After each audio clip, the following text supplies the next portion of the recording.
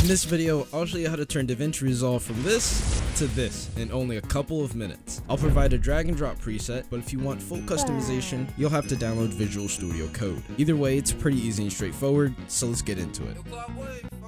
So the first step is downloading Visual Studio Code. If you're on Windows, download the Windows version. If you're on Mac, pick the Mac version. I'm on Windows, so I'm picking Windows.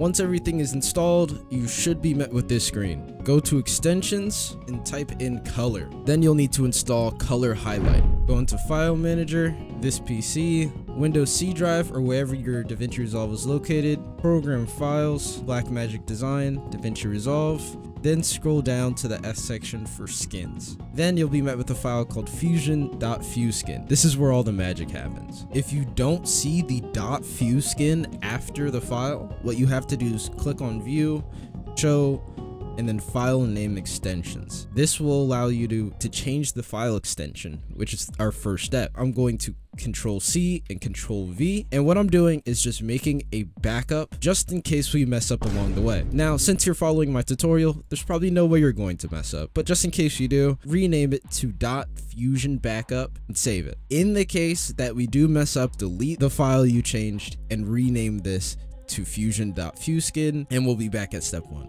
delete fuskin and replace it with .zip and press yes. Now we have a zipped folder. All we have to do is unzip it and this is going to give us all the textures and settings that we will be changing. Now we have a fusion folder. Go into the folder and lo and behold, we have every single texture that is on the Fusion page. Now, you might be thinking, Clout, I don't feel like changing the color of every single button here. And I don't either. We'll be focusing on the fusion.skin file. This is where all the good stuff happens. So to make it simpler, Orca Gray is the toolbar color. This color down here, Penguin Gray is the color of the inspector menu, the node section, and pretty much most of the menus here. So for example, if I want to change the color of penguin gray is going to correspond to this color of 40, 40, 46. If you want to check to see what color that is, type in RGB parentheses, then you could copy this color, paste it here, and it will give a highlight of what the color is. So this looks like a nice darkish gray color. Let's go for a dark purple. Copy this, then paste it right here, and then delete the RGB. And we're done. We have successfully changed Penguin Gray. So for the next color, I want to change Orca Gray. And I want it to be a, I don't know, something like that. Then I'm going to copy that, highlight this, paste, and delete.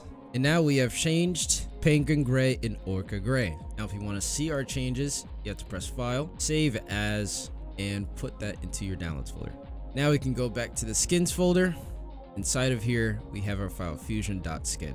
We're going to replace it with the one that we just made in our downloads folder. Replace, continue, and it's now replaced.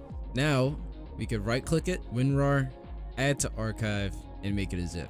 You don't have to use WinRAR for this. It could literally be any program that makes a zip file.